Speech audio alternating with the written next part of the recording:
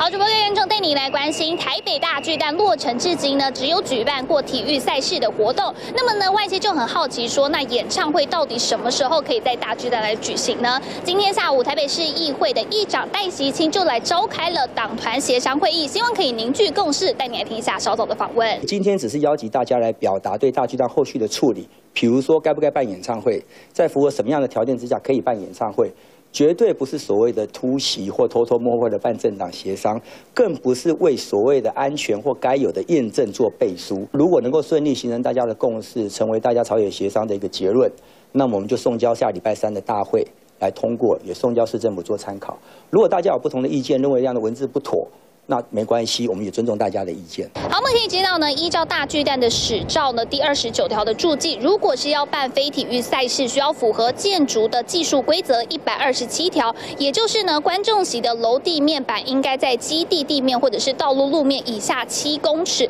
或者是你要找到第三方的专业性机构来验证。可是呢，现在大巨蛋的球场范围是在地面以下十公尺。虽然现在呢，各界都是希望在演唱会可以在大巨蛋举行不过呢，前提就是要以安全来做保障。以上是目前最新。